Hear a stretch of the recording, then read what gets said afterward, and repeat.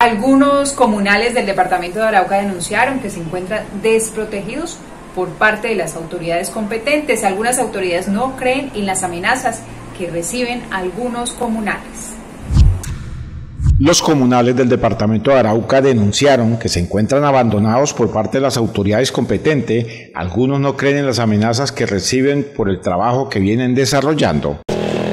Precisamente eh, hoy no hay garantía para los líderes, para las personas eh, acceder a un cargo tan importante como es ser eh, presidente de una junta, como es liderar procesos para que la comunidad tenga por lo menos garantizar sus necesidades básicas insatisfechas. Esto es lo que hacemos los líderes.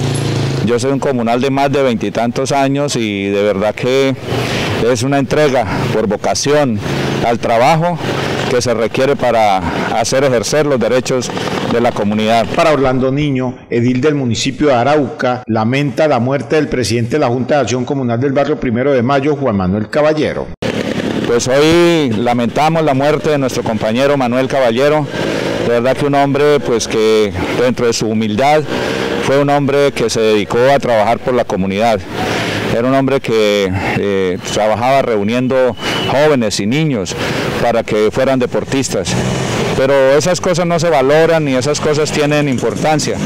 Por cualquier desliz que usted tenga, porque lo hicieron equivocar o porque llegó algo que de pronto lo implique a una persona, así sea por chismes, eso es pena de muerte para una persona como líder de una comunidad. El líder comunal de Arauca manifestó que se desconocen si existían amenazas contra el presidente del barrio Primero de Mayo asesinado el fin de semana.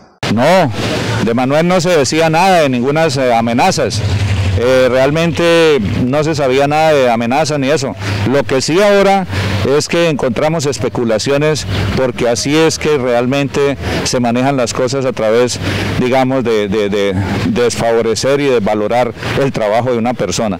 Entonces ahora hay unas especulaciones que no tiene sentido que la gente las utilice y que en esas redes se pongan a, a escribir o a decir cosas que no son. Los comunales del municipio de Arauca se encuentran desprotegidos por parte de las autoridades competentes. Sí, los comunales estamos amenazados. Aquí hay muchas, eh, digamos, normatividad. Entonces usted habla, escucha que los ministros, que todos hablan de la alerta temprana, hablan del plan padrino, hablan de los escoltas que nos puedan poner a nosotros como protegidos, hablan de un montón de cosas, pero ya verán ustedes que de verdad estamos condenados por la delincuencia y por toda persona que no mire bien al presidente o que se le oponga a, por ejemplo, al trabajo que hacemos contra la corrupción, que hacemos contra la, la venta de drogas, que hacemos contra muchas cosas que nosotros nos pertenece para ayudar a la comunidad a denunciar.